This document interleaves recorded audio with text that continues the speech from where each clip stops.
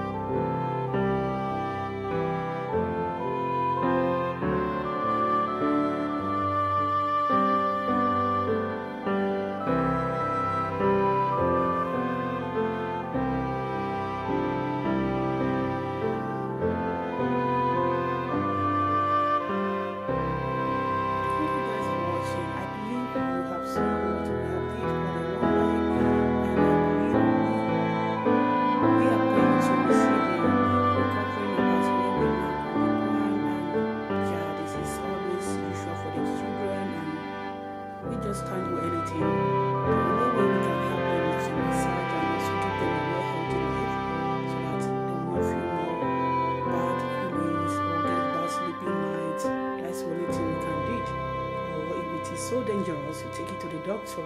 So the only one we can do at home, we can just try our best. Thank you so much for understanding, guys. Love you and also see you in the next video. Bye.